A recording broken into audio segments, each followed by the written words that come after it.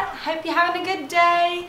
Um, it's the end of August already, um, so by the time you guys are going to be seeing this, it's already September, and oh my gosh, what miserable end of the summer it's been.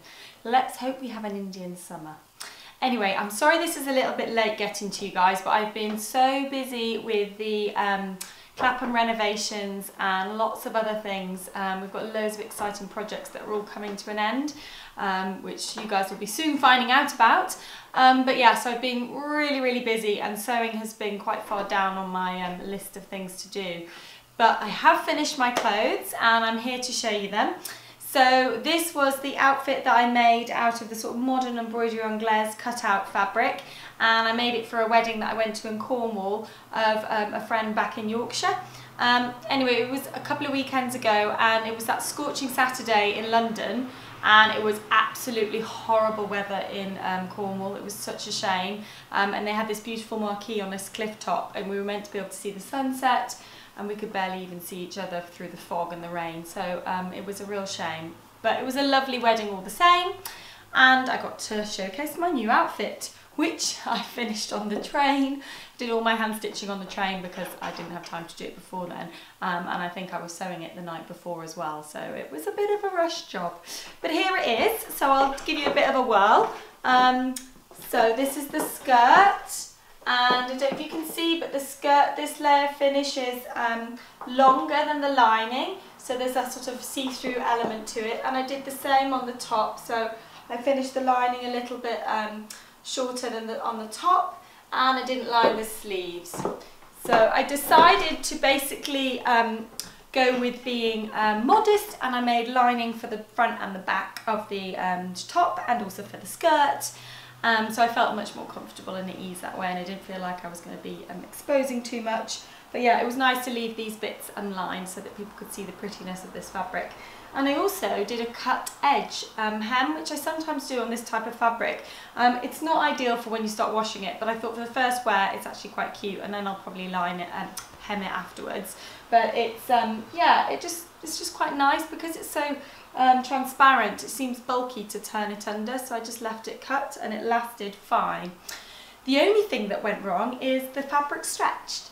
So on the morning of the wedding, um, I, popped, I had to get ready quite early because my nephew um, was a page boy and I had to take him over to the bride's house. By the time I um, got there, my skirt waistband had stretched quite a lot. I hadn't interfaced it, I just mounted it on the lining fabric and um, yeah it basically stretched like probably about an inch and a half to the point that it was too loose so then I was trying to find like safety pins and the old like that were left over from the corsages that the florist brought over so fortunately I found one and whacked one in but it was a bit embarrassing especially because mum was telling everyone that I'd made my outfit and then I would have to be like yes, but I've got a safety pin in because it's stretched. Um, so I now have to take it in. I've actually just pinned it in now so you guys can see. But um, yeah, I've got pins in the back and I'm going to have to take it in. Um, so the, the skirt, so I haven't told you what the skirt is. The skirt basically is the skirt pattern from that Simplicity vintage pattern that I made. Um, which I absolutely loved and I thought, oh, it'd be cool as a skirt. So I just made a waistband and pleated it. Um, I didn't make pockets because I didn't have time, um, but I think that um, yeah, I think it's really nice, this skirt pattern, so I'll probably make a few more of these. And this is just the shift dress that I've made, and I didn't do the open back, um, it's just a plain um, back, and I didn't actually even need to do the little top neckline opening, so I've been able just to slip it on and off. Um, so yeah, it was really easy to make, so the only zip I had to do was my concealed zip in the back. Um, but yeah, I'm really pleased with it, and I think I'll wear this top quite a lot with jeans and things, and the skirt I'm going to probably wear in the winter as well because it's quite thick. Even though it's a summery skirt, it is, I think it will look quite cute with tights as well and a little jumper. So you'll be seeing more of this. Okay, so that's the first outfit. On to the next one. Okay guys, this is the second. This is my little cropped sh shift dress top that I made from um, the Indian fabric, the really expensive one. Um, I absolutely love it. I feel like it's made up so nicely. Um, I've made a pair of ultimate trousers with um, a waistband to wear with it so that I'm not exposing too much flesh and it's got the little open back um, as well with buttons down the back like I did for last month's as well. Um, but yeah, it's really cute, really comfy. It's a little bit stiff and it does mean that it kind of raises up a little bit there But um, yeah, I'm pretty com comfortable in it just moving around and things. Um, I didn't line it in the end. I thought I might have to because it was a bit scratchy underneath, but actually it's fine. Um, and it's softened up a little bit just with steaming it. So yeah, really pleased with it. Um, I, that's my second cropped top with a back, um, open back, and I have done this video for you guys so you can see how to do it, and we'll be releasing that really soon. We're just doing a couple of um, photo steps for the pattern adjustments because I think that'd be easier um, to show you as photos. But yeah, it's really, um, really simple, and it's so such a nice little top to make out of our shift pattern. Um, and if you haven't yet seen it, the waistband, the trousers that I'm wearing, this um, how to add that waistband onto your ultimate trousers, that is now up on uh, the vlog as well, so you can watch that uh, tutorial on there.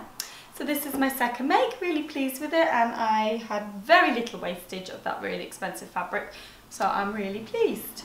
I keep saying I'm really pleased, I'm really pleased, yeah. Thumbs up. Okay, on to the next one. And this is the third. It's the box pleat skirt from my book. Um, gathered at the back, lovely pleat at the front. Um, yeah, this I love this fabric. I'm really pleased with it. Um, it's so soft and perfect for this project. Um, it's made it really nicely. There's just so much enough weight that it drapes well. Um, and I'm wearing it with um, one of my Zara plain black knitted tops. But I thought I might make one of Tilly's Agnes patterns, um, Agnes tops with it because I think that would be cute as well. Um, but yeah, I'm really, really pleased. I'm wearing it now with uh, bare legs, but I think I'll definitely wear it with tights. So I'm really looking forward to wearing this in the autumn. Um, yeah, making nice clothes for the autumn gets you excited about the autumn. Otherwise, I'd be feeling quite depressed.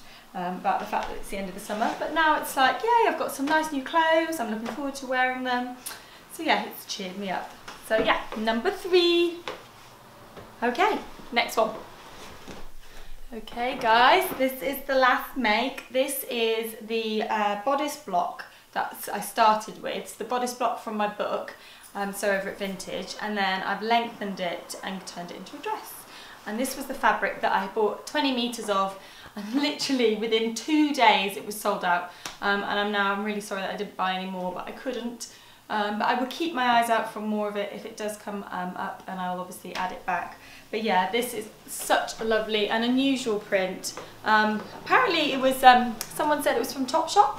They'd seen a dress from Topshop, so it's quite likely that that's where the fabric originally came from. Anyway, so here's the dress.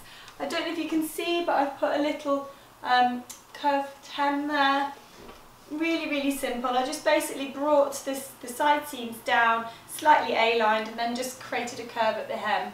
Um, but yeah it's just overlocked and stitched over once and really simple there the little arms. I'm wearing it with a belt. Um, and I think I'll definitely wear this a lot. It's really comfy it's really easy. It's like a shift dress really but just a, nice to have a slightly different neckline. Um, and the fabric's got um, a sort of satin side to it and then it's got on the reverse it's got a more of a matte side on the wrong side. I actually prefer the matte side, I think, but I've got a little bit left, so I'm going to make a bodice block top. So this basically is a top as well, um, and I'm going to make it on the other side. Um, so yeah, yeah, really pleased with it. So it's been a successful month of makes, even though I was really rushing to make them. Um, apart from the fact that my um, my skirt stretched on the waistband. Everything else I was really pleased with. I wouldn't have changed anything. Um, so that was good. And I've already been collecting fabric for next month. So I'll be making my video to show you guys that soon. Um, but yeah, I hope you found this interesting. Um, do let me know in the comments if there's anything that you want me to, to talk about that I'm not talking about my make. So um, I'm always interested to hear your ideas.